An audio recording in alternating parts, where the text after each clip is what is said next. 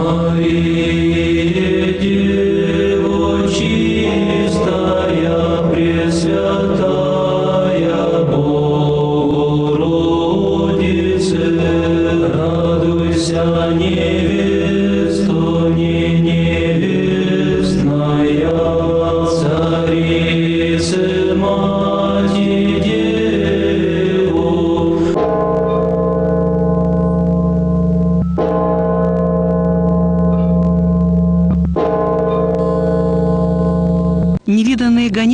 Претерпела Екатеринбургская епархия, как и вся русская православная церковь в 20 столетии.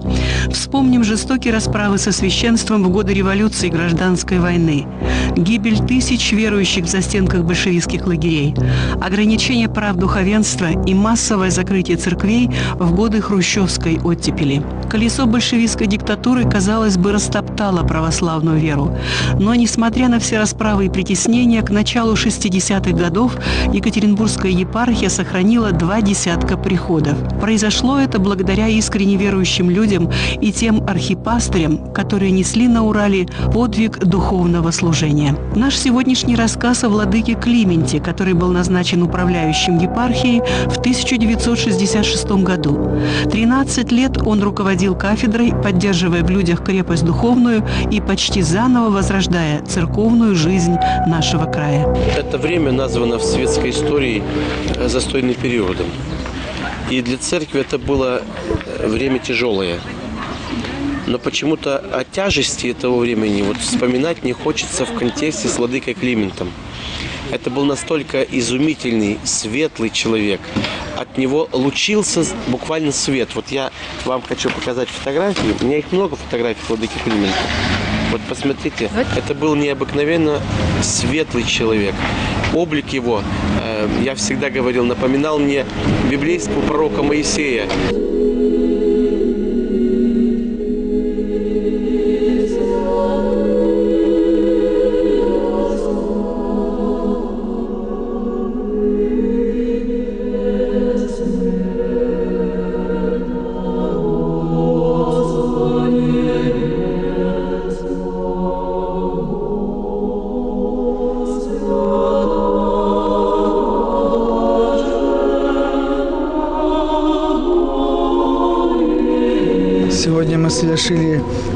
Панихиду, э, вспоминая нашего архипастыря нашей Екатеринбургской епархии, владыку архиепископа Климента.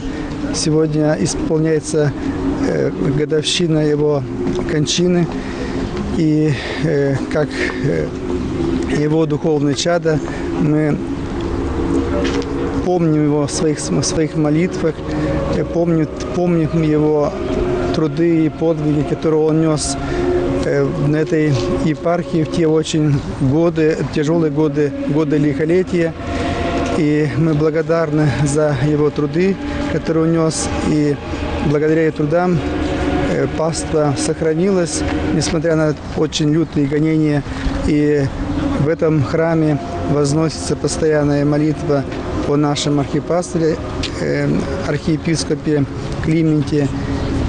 Мы молимся, чтобы Господь селил его в селениях праведных и даровал ему вечную, блаженную, радостную жизнь. В 2004 году исполнилось 10 лет с того дня, как останки владыки Климента были перенесены с Широкореченского кладбища в крипту Екатеринбургского Иоанна Предтеченского кафедрального собора. А вот что предшествовало этому событию. Наступил момент, когда было дано благословение, это епископ Никон служил тогда, чтобы мощи, останки были перенесены и погребены в крипте кафедрального Иоанна Притеченского собора. А похоронен был владыка Климент на широкой речке. И вот тогда э, я еще служил диаконом, э, протодиакон Игорь, я, э, диакон Дмитрий и диакон Георгий. Сейчас э, ди- диакон Георгий уже священник, служит на Химаше. Мы все были изумлены. Гроб сделали не меньше, чем нужно было сделать. Мы думали, что там мож- может остаться за, за это время, за эти 9 лет. Сложим косточки, взяли перчатки с собой, думаем, переложим косточки эм, э, в этот в полиэтилен, э, накроем, закроем покрывалом и э, сделаем таким образом перенос.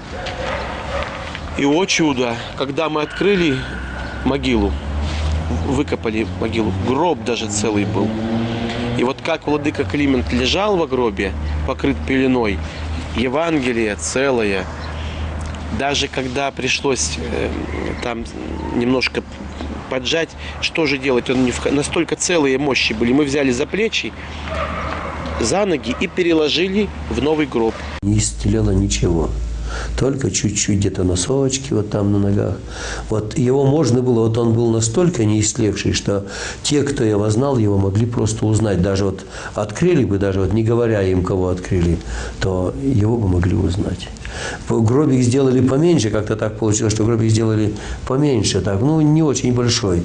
Ну, думаю, что все равно уже человек э, 8,5 разложился, и там его сложат аккуратно, и все. Но он был настолько крепок, что гробик оказался маловат, пришлось снять с владыки ботинки. Вот был насколько, насколько... Это, конечно, тоже чудо. Это однозначно, это что там, мне не говорите, но это чудо и великое чудо. Он совершенно нетленен. Я свидетельствую об этом. И э, так мы его погребли. Вот в крипте нашего собора совершенно нетленные его останки, которые 9 лет пролежали в земле. И мы его положили, э, переложили в гроб, как будто человека недавно совсем, ну, дня 3-4 похоронен назад. Он не предался тлену совсем. У него целый ноги, целые волосы, целые руки. Как вот он лежал, был положен в гроб, так мы его и принесли. И, конечно, безусловно, это свидетельствует о его святости. Господь хранит все кости их, ни едино от них сокрушится. Так говорится о праведниках. Мы еще до конца не осознали, как повезло нам, что долгое время рядом с нами жили владыка Тавия, Остроумов, владыка Климент Перестюк.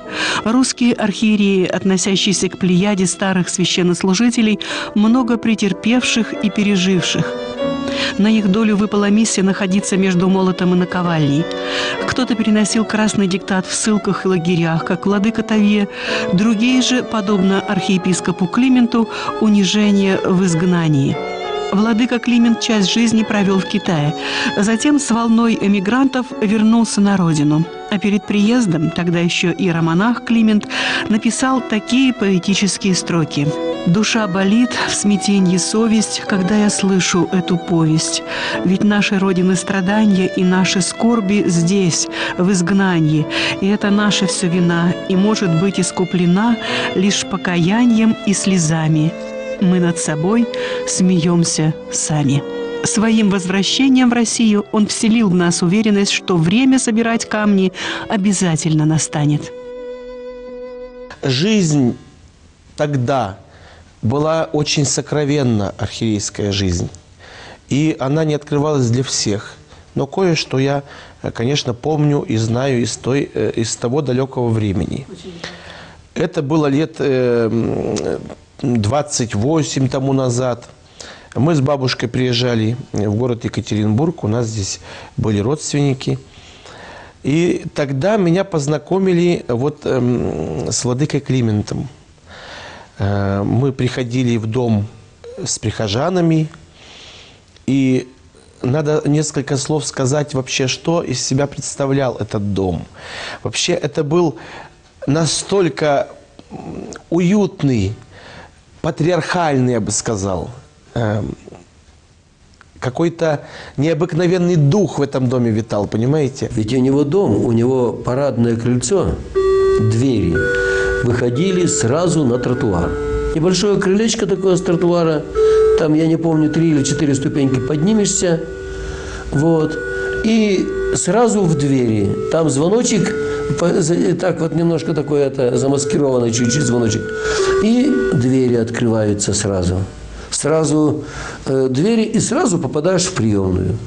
Ну, приемная, наверное, была вот, как мне помнится, ну, может быть, квадратных метров 10, ну, как бы прихожая. такая. Из приемной, вот если заходишь туда, вот зашел в приемную, то налево были двери в его кабинет, и из его кабинета двери в спальню. Направо были двери в трапезную, и из трапезной двери на кухню. А прямо была, кажется, ванная комната. Там еще был небольшой флигелечек наверху. Там было две комнатки. Вот. И к нему можно было, у него ведь ну, не было тогда, что вот какая-то охрана ограждает, там что-то допускает, не запускает. Просто можно было подняться на крыльцо, позвонить, и там подойдет его, ну или повариха, или кто-то там внутри есть, кто-то человек какой-то, подойдет кто там, скажешь, вот дьякон такой-то. И запомнился мне удивительный сад. Вы знаете, э, в то время у нас, э, к сожалению, и сейчас это еще не очень развито, культура выращивания цветов была не на высоте. А вот в архиерейском саду это было настолько потрясающее зрелище, то есть каких только там цветов не было. Вот у меня даже есть фотография владыки Климента. Он как раз э, вот в своем огороде, и где вот в основном был только цветник – ну, такой вот не очень взрачный заборчик, да, э, и э, за, за спиной владыки Климента вот эти цветы. И всегда в доме, во всех комнатах, и даже в мезонине наверху, в верхнем этаже, всегда стояли в вазах цветы из сада.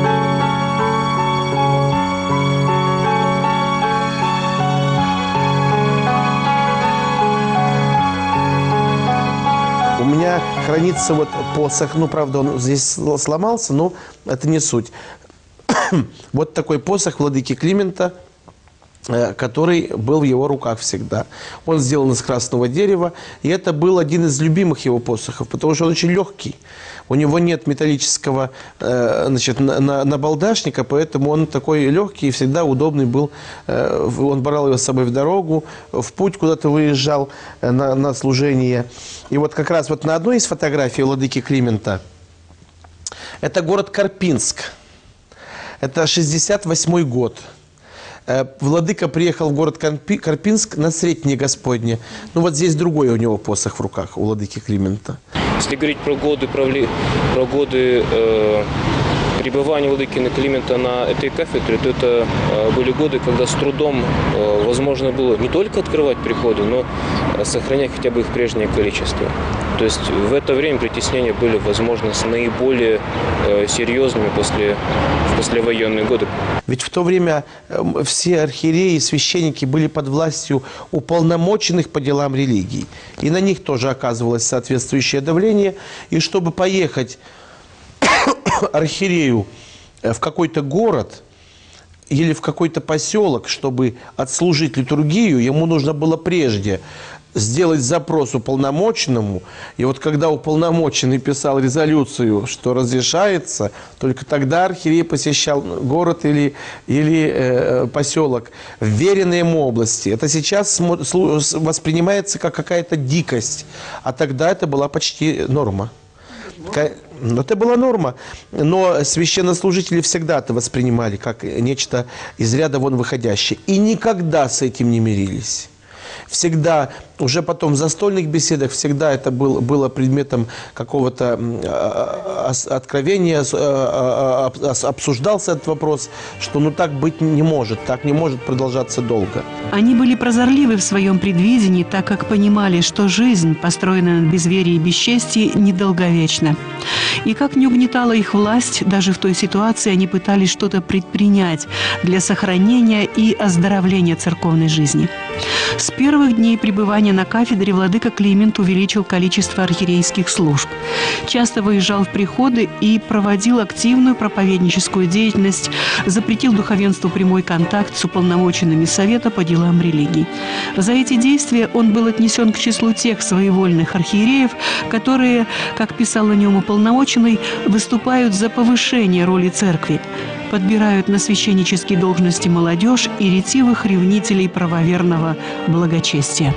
Среди последних числились репатрианты из Китая, с которыми владыку связывали особые отношения. излюбленное, так скажем, не любимое, излюбленное место. Тогда это был вот поселок Черноисточинск, владыки Климента, и Нижний Тагил. Но прежде всего, я уже сказал о поселке Черноисточинск. Там служил ученик э, владыки э, Климента, и отец Николай всегда выходил... Ученик учитель? Учитель, простите, я оговорился. Там э, служил учитель э, владыки Климента по богословию вот когда он учился в, Шанхай, в Шанхайской семинарии. И владыка, когда приезжал, то отец Николай выходил на крыльцо дома, а крыльцо было уже во дворе, в крытом дворе, и пел «И спала эти деспота». И потом была беседа. Отец Николай тогда, э, он вспоминал, а я был на кухне с Марией Григорьевной и, конечно же, подслушивал этот разговор волей-неволей. Вспоминал об этих трудных годах, они вспоминали о том, как, вот я не помню в каком городе, но совершенно точно помню, как был взорван храм Николая Чудотворца в Китае, или в Шанхае, или где-то вот в каком-то из городов. И как они со слезами видели этот взрыв.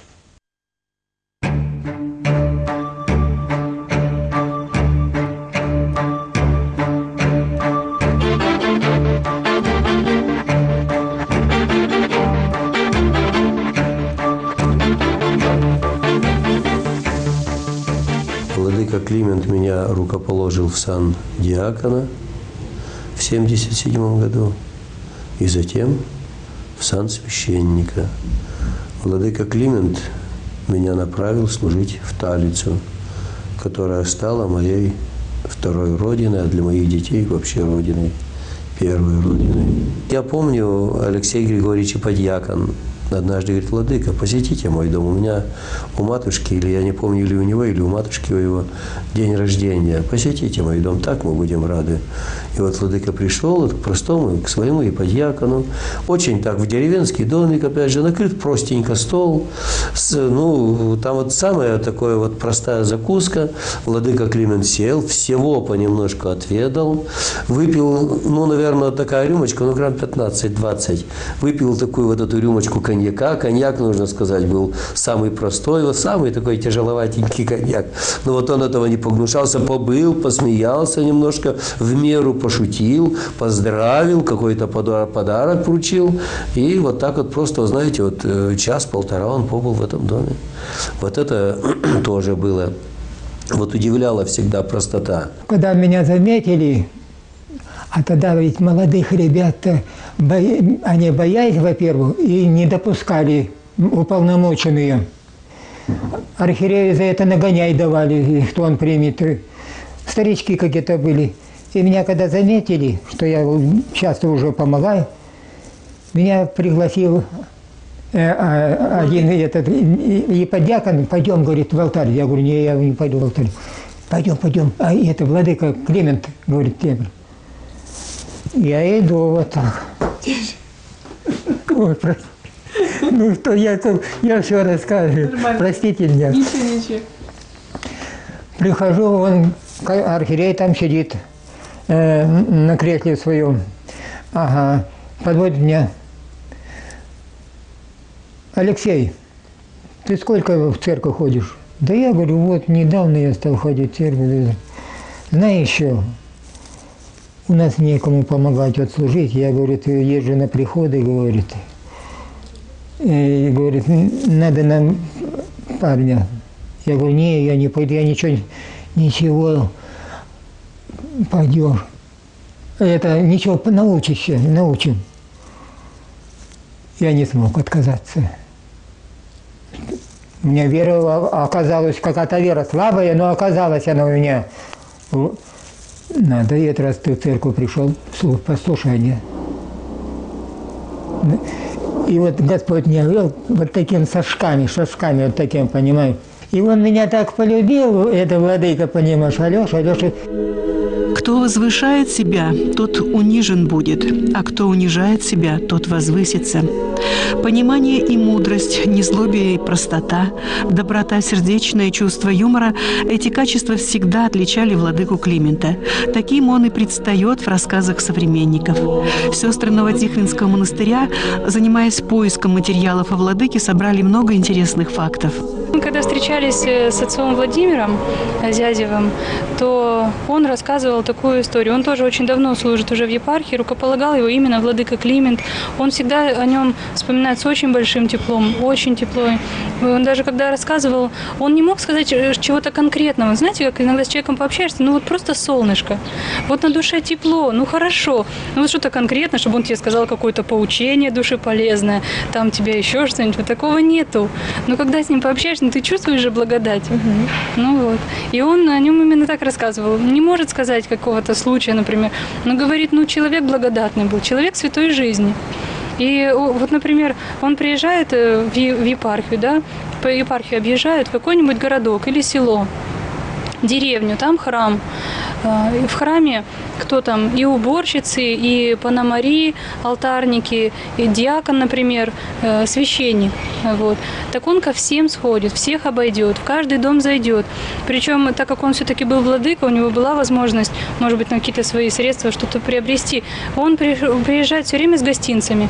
Де- Детям, если он какой-нибудь апельсин подарит, что для них просто невидаль в советское время. Это же банан какой-нибудь привезет. Так это же просто чудо было. Они на него так смотрели, Дед Мороз.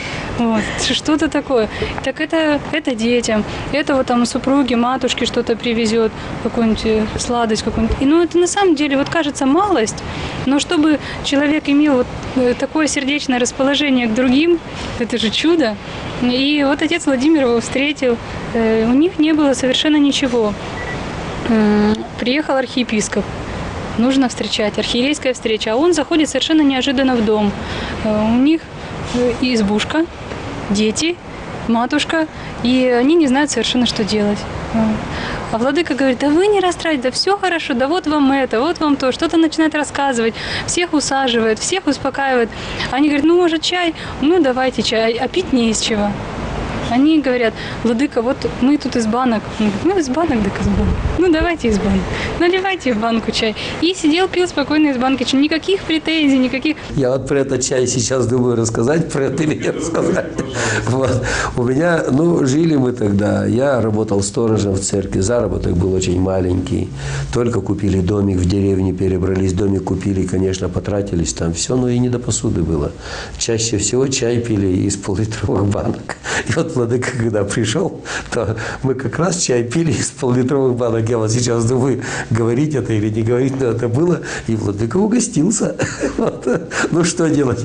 Жили бедно. Вот это просто, знаете, вот он у меня, ну, вот очень теплым. Вот у меня сейчас матушку мою спросить, мою Галину Петровну, и она бы вот этот вот случай вспомнила, и вот она вот уже с такой любовью его всегда там вспоминает. И какой-то был у него такой очень мягкий юмор. Он всегда всех поддерживал, всегда как-то, может, там какую-то шутку сказать. Даже они подхватывали ее потом, и это была шутка на всю епархию.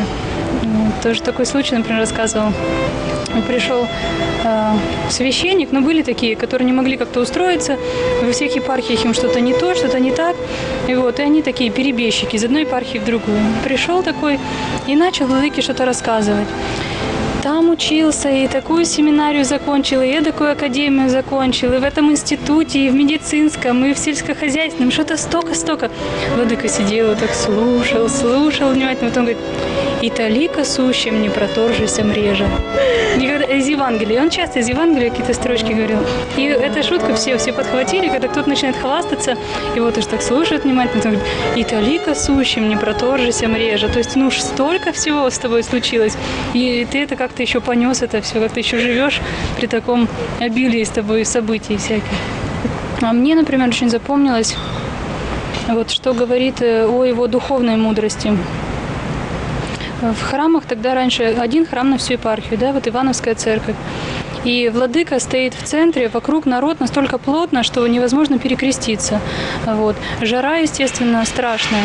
Э, Люди просто обливаются. И владыка потом, чтобы как-то подбодрить своих вот прихожан, кто подходит там за благословение, вот бабушки, э, им тяжело. И он как-то благословляет и говорит, ну ничего, ничего, потерпим, потерпим. Ну хоть не поплачем, да хоть попотеем. Если нам Господь слез не дал, вот покаянных слез, чтобы плакать о своих грехах, ну мы хотя бы вот поработаем, вот так, вот наша жертва Богу будет вот это. Не слезы покаяния, ну хотя бы мы вот, что можем, то дадим. Вот, ну это чудо на самом деле.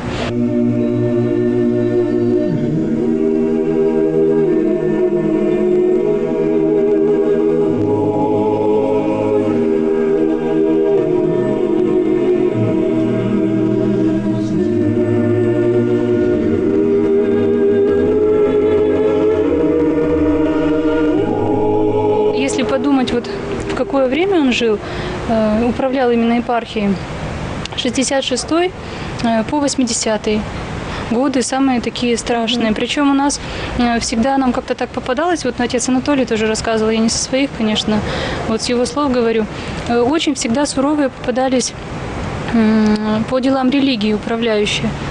Настолько, что, ну, просто ну, отец Анатолий никогда ни про кого плохо не говорит. Я думаю, что это тоже вот какая-то школа владыки Климента. У него о каждом доброе слово. Если он не может что-то доброго сказать, он ничего не говорит. И он так э, только можно по намекам догадаться, какие у нас были управляющие по делам религии, страшненькие. Вот. И он как-то с ними Годы эмиграции, возвращения в холодную и отчужденную Россию, власти которой пытались вытравить из народа веру Христову, борьба с воинствующим атеизмом – все это не могло не сказаться на здоровье владыки Климента. В 1979 году тяжелая болезнь приковывает его к постели на долгие годы. У нас в храме сейчас э, есть икона, которая была в спальне. В спальне владыки Климента. Это Христос в терновом венце. Она находится в алтаре. Мы эту икону выносим на середину храма в дни Великого Поста. И я у владыки Викентия спросил разрешения, чтобы эту икону из архиерейского дома взять к нам в храм. Владыка благословил, но пусть будет в храме. Так вот, когда владыка Климент, мне еще этот случай очень ярко запомнился. Конечно, может быть, здесь такой, э, такое сравнение, э, может быть, я неправильно понял тогда владыку Климента, но он лежит, плачет, и одной рукой, потому что у него правая рука была парализована, левой рукой показывает на эту икону. А там я посмотрел, у Христа тоже слезы. И я что-то ему лепетал своим детским лепетом. Говорю, да, Владыка, вот видите, Христос тоже страдал, и вы сейчас страдаете. Он бесконечно плакал.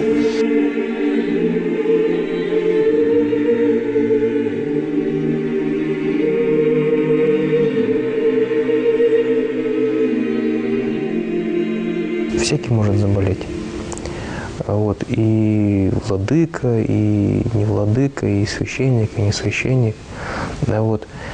Но для священника это чем э, может быть тяжело, что да, он не может, скажем, служить, он, э, допустим, привык к какому-то какой-то востребованности, что ли, да, и одиночество в этом случае может привести, ну, мне кажется, к унынию что вот там все, всем ты был нужен, а теперь никому не нужен. Ну, такие, в принципе, случаи были, на самом деле. Мы это, я, и, в принципе, читал это про все.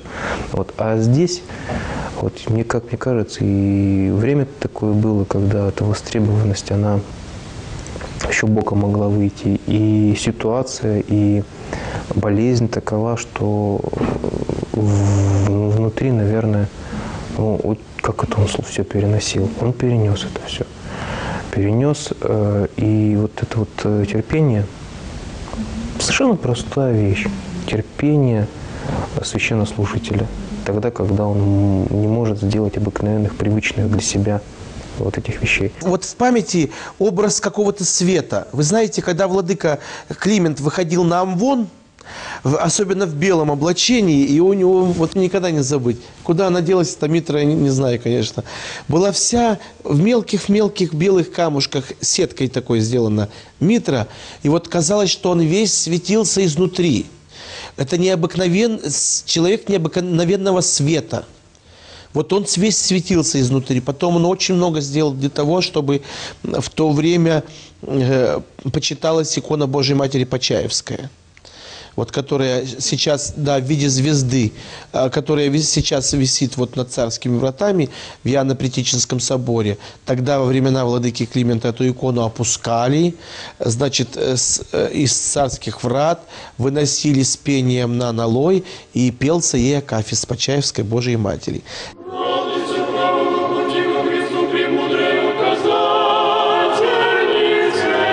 Просите, и дано будет вам. Ищите, и найдете. Стучите, и отворят вам.